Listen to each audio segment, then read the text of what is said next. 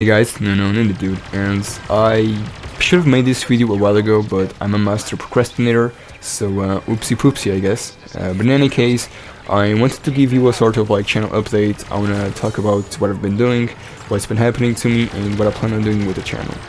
Uh, but first things first, I'm gonna talk about my villain origin story. So uh, my abusive father essentially kicked me out of the house, and I had to live with some friends, right? Uh, during these like three or four months, I wasn't able to make videos, obviously. Um, so uh, yeah, uh, but during these four to three months, I found a job, I found my own place to live, and uh, yeah, and now I have Wi-Fi again.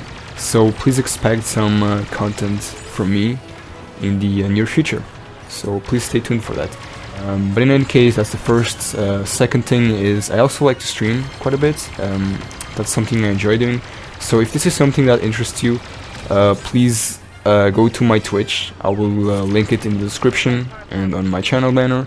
So yeah, I usually stream after like 6 p.m.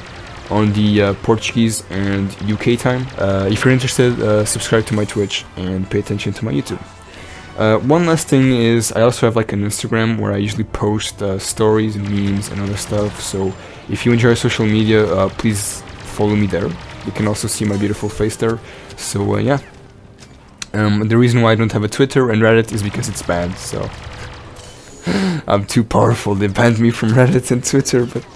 Yeah, in any case, um, that's all I wanted to talk about. Um, so yeah, if you're interested and if this sounds good to you, subscribe and do all of that, you know, so see you and take care.